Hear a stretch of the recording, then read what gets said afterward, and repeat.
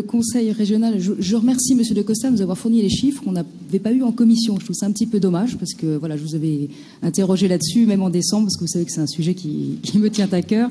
Et je trouve ça un peu dommage de les avoir uniquement euh, en, séance plénière au dernier moment. Mais enfin voilà, en tout cas, peut-être que pour l'avenir.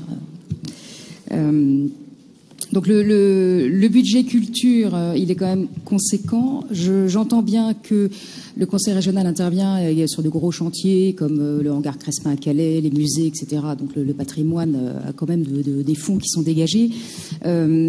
cependant, je, voilà, on trouve que l'aide est un petit peu homéopathique sur, la, rénovation du patrimoine rural. Euh, vous nous avez parlé, là, justement, vous avez donné le bilan de 6 millions 9 pour les, propriétaires publics sur 3 ans, si j'ai bien compris, puisque c'est depuis 2016, donc ça fait quand même pas énorme, énorme. Pour donner un, pour donner un ordre de comparaison, le seul Pictanovo touche, je crois, 8 euh, millions par an. Enfin, voilà, c'est pour donner une, presque 9 millions. Pour, vous, voyez un petit peu la, différence de budget.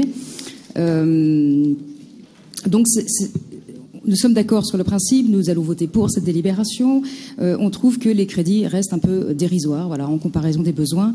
Euh, il y a tout un tissu patrimonial qui est disséminé sur nos territoires qui l'irrigue de beauté. Voilà, on a les, églises, les lavoirs, les halles, euh, les calvaires, les pigeonniers, les moulins, tous les petits édifices remarquables qu'il peut y avoir, les monuments aux morts qui vont commencer à se dégrader parce qu'ils ont 100 ans.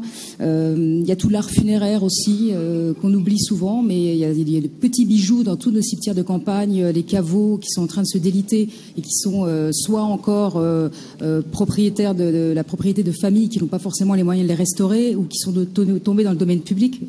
Donc tout ça, je pense que euh, pardonnez-moi l'expression, mais il faut mettre le, paquet là-dessus.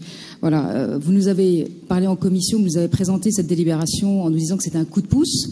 Euh, ça, nous, le comprenons bien, mais nous, ce que nous souhaitons, ce serait une opération coup de poing en faveur du patrimoine. voilà, le Conseil régional ne peut pas tout faire, on sait très bien, mais les besoins sont énormes.